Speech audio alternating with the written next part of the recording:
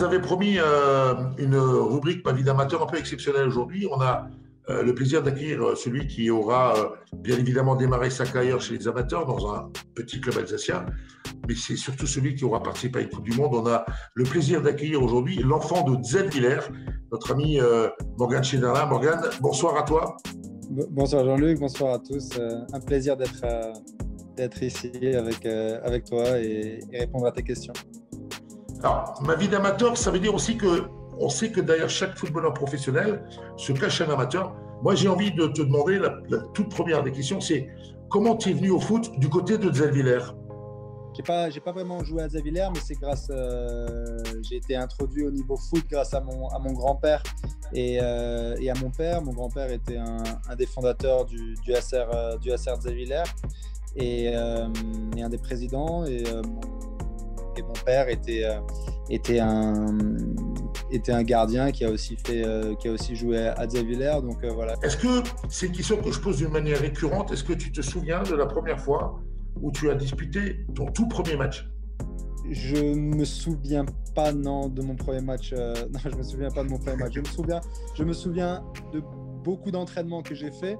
Euh, et comment j'y suis allé grâce à mon, à mon grand-père. Parce que ce qu'il faut savoir, c'est que moi, je n'ai pas, je pas commencé vraiment à Zévillers, je n'ai pas eu de licence à, à Zévillers parce que euh, j'étais trop jeune à ce moment-là, parce que tous les clubs des alentours et Zévillers ne voulaient pas prendre un gamin de 5 ans euh, pour, pour s'entraîner parce que c'était trop jeune. Et le seul club qui m'a accueilli, c'était, c'était le Racing Club de Strasbourg. alors, on va parler du Racing forcément parce que 95-2008, c'est quand même un bail. Tu es arrivé au Racing en 95 euh, au centre de formation. Et moi, j'ai un souvenir extraordinaire qui. Alors, c'est un souvenir personnel. Euh, le match du centenaire du Racing, hmm. en 2006. Tu rentres, tu es tout jeune, tu es membre du, centre de formation du Racing, et tu rentres avec le maillot numéro 100 sur les épaules. Est-ce que tu te rappelles de ce, de, ce moment-là?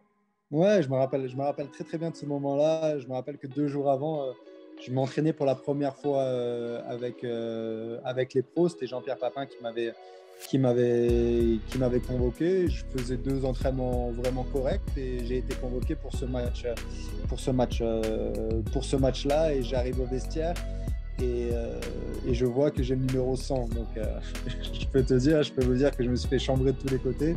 Tout le monde me disait ah, fiston, fiston du club. Donc c'était assez c'était euh, c'était assez marrant. Une autre question qui peut être intéressante, c'est que tu es parti très jeune du Racing, puisque voilà, on s'est un peu cassé la figure.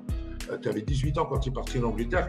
Est-ce que c'était pas trop difficile de partir aussi jeune dans un autre pays, découvrir un autre football, une autre culture, une autre langue?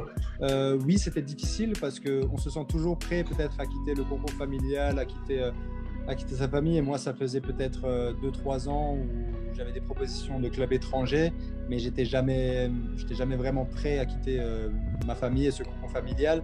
Euh, j'ai fait le choix de partir à Southampton pour, pour diverses raisons sportives parce que je sentais bien et j'avais une bonne, une bonne, une bonne alchimie avec les dirigeants sur place. Mais c'est clair que quand on arrive en Angleterre et qu'on ne sait pas parler la langue, on arrive tout seul là-bas, qu'on ne sait pas cuisiner, euh, que voilà, il y a tout qui change.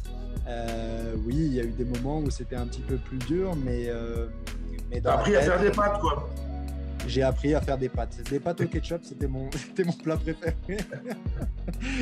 non, non, c'était ouais, c'était pas, c'était pas évident, mais dans mon canapé le soir, en ayant mes parents au téléphone à cette époque-là, en ayant mes amis, voilà, j'avais pas perdu de vue l'objectif et pourquoi je suis allé là-bas. Donc, donc je me suis, je faisais euh, voilà, boulot, dodo, boulot, dodo, et voilà, c'était, c'était, c'était comme ça, et je savais euh, pourquoi, pourquoi j'étais là-bas, mais c'est clair que c'est pas évident quand on sait, quand même pas répondre à What's your name, c'est un peu difficile. On a tous vécu euh, la descente aux enfers du Racing. malheureusement pour toi, tu étais obligé de partir. Mais quand on regarde ta carrière, Southampton, Manchester United, Everton et maintenant Nice, on peut dire que tu as quand même vécu une belle carrière. Ouais, je suis, je suis content de ma carrière. Après, je suis un interne insatisfait. Donc, euh, donc voilà, j'ai des petits, des petits regrets sur quelques petits choix que j'ai pu faire à certains moments d'une carrière, mais qui n'en a pas. Euh, voilà, moi, euh, je suis très content aujourd'hui d'avoir fait cette carrière-là, qui n'est pas finie. Mais, mais comme j'ai toujours dit, voilà, dans le football, il y a une part de talent. Il y a une part de, choix et il y a une part de chance. Effectivement, Southampton, tu es resté quand même un, paquet d'années. Euh, mais il y a un autre point de ta carrière qui est assez intéressant. Tu as fait toutes les équipes de France, des U17 euh, en passant par les espoirs et bien évidemment l'équipe A. Et je pense qu'ils ne sont pas nombreux, et encore moins des Alsaciens, des vrais Alsaciens. Je pense que tu es le seul à avoir participé à une Coupe du Monde. C'était au Brésil en 2014. Ça a été, euh, ça a été juste un, moment extraordinaire. voilà, J'étais très fier de, de retrouver de trouver l'équipe de France et de trouver un effectif qui, vivait bien. On avait à cœur aussi de redorer le blason de, de l'équipe de France parce que euh, voilà, elle, revenait d'un mondial 2010 euh, où il s'est passé ce qui s'est passé. Je ne vais pas revenir dessus. Un Euro 2012 c'était encore, euh, encore difficile. Donc en 2014, on a vraiment eu, on a vraiment eu à cœur voilà, de, de, se refaire aimer, entre parenthèses, des, des Français. C'est ce qu'on a su faire. Donc, j'étais très fier d'être dans un, dans un effectif comme ça. Et pour ma part, euh, jouer au, au Maracana devant, devant toute ma famille qui est arrivée pour, euh, pour ce match, c'était euh, c'était un moment inoubliable et un moment, je me rappellerai toute ma vie. Nous, on a tous vécu le Maracana depuis notre canapé. toi, tu l'as vécu sur le, le, rectangle vert. Mais au-delà de ce, de souvenir en équipe de France, sur j'ai envie de dire sur l'ensemble de ta carrière, hormis ce moment-là, c'est quoi ton meilleur souvenir? Euh, Sur l'ensemble de ma carrière, mon meilleur souvenir, c'est euh, la montée de deuxième division à, Première Ligue. Euh, c'était juste un moment extraordinaire où, où on avait un groupe, mais vraiment un groupe de potes et un groupe de joueurs tellement talentueux. ce qu'il faut savoir, c'est que moi, j'ai fait, fait le choix d'aller dans un club de Southampton en deuxième division qui était un petit peu risqué parce que j'avais des clubs de première division qui me voulaient, mais je savais que j'allais avoir plus de temps de jeu en deuxième division qu'en première ligue. Donc je suis parti là-bas et l'année d'après, euh, le club euh, coule financièrement entre parenthèses, pas comme le Racing, mais, mais descend, en troisième, descend en troisième division et se fait racheter par, par Marcus Liber qui nous sauve un, peu, un petit peu. Et à partir de ce moment-là, voilà, Marcus Liber a, injecté de l'argent et a fait en sorte que ce club se, stabilise et a ramené beaucoup de très bons joueurs. Et on avait vraiment un groupe de potes et, donc j'ai connu la troisième division où c'était vraiment très difficile de s'extirper de là. Euh, la deuxième division l'année d'après et directement euh, monter en première ligue. Ce match de deuxième à première division, quand on gagne 4-1 euh, chez nous à la maison et quand le stade se fait envahir par, par une marée humaine et qu'on est soulevé par les supporters de Southampton et qu'on sait que euh, que voilà qu'on a redonné euh, qu'on a redonné à la ville la première ligue et que et que moi mon rêve de gosse allait se réaliser en jouant en première ligue euh, c'est juste c'est juste le, meilleur souvenir que j'ai après après le Maracana. Il y a beaucoup de petits footballeurs alsaciens qui soient de Zellwiller ou d'ailleurs qui rêveraient d'endosser une carrière de joueur professionnel et derrière chaque pro se cache forcément un amateur.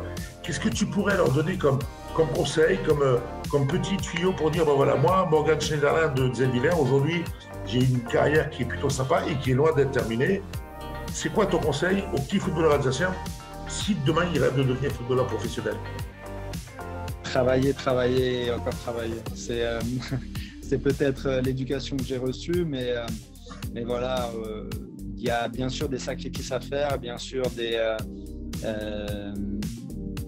des, choses dont, quand on veut être footballeur professionnel, on doit, on doit s'acquitter de faire quand on est jeune. On ne peut pas avoir le même train de vie que tous nos, que, tous nos copains. Il faut mettre tous les, tous les chances de nos côtés pour réussir. On ne peut pas sortir tous les week-ends. On ne peut pas avoir la vie que, les, euh, que, nos, que, nos potes, euh, que nos potes ont à côté.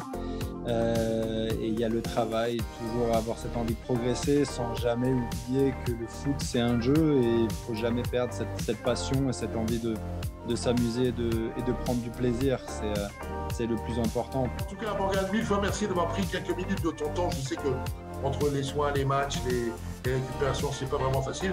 Je voulais très sincèrement te remercier au nom du foot amateur et je suis persuadé que plein de petits Alsaciens vont se reconnaître euh, avec toi. Mille merci d'avoir été avec nous dans ce mag. Ben, c'est un plaisir, c'est un plaisir et, et merci pour l'invitation.